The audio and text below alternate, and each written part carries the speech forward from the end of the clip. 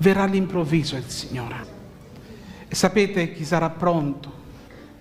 Coloro che stanno rivolgendo questa preghiera. Vieni, Signore Gesù. Noi vogliamo stare nel tuo regno e io non vedo l'ora che quel regno sia stabilito, perché allora regnerà la giustizia, perché allora non ci sarà più il peccato, allora non ci sarà più la sofferenza, non ci sarà più il cordoglio, non ci sarà più la morte. Questo tempo che rimane eh, prima della venuta di Cristo lo vogliamo consacrare al Signore, vogliamo lavare le nostre vesti. Dice ancora la Chiesa, sì, vengo presto. E noi vogliamo dire, fratelli e sorelle, Signore, vieni, sono pronto. Oggi c'è speranza di salvezza nel nome di Cristo Gesù.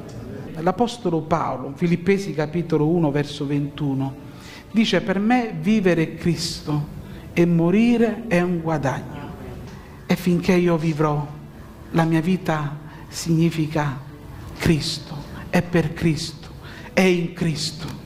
C'è un prezzo e questo prezzo non è una perdita, ma è un guadagno.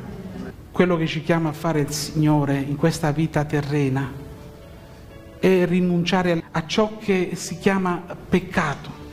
Non amate il mondo né le cose che sono nel mondo. Vieni, dicono lo Spirito e la sposa. Lo Spirito ci spinge ad annunciare questa verità con forza.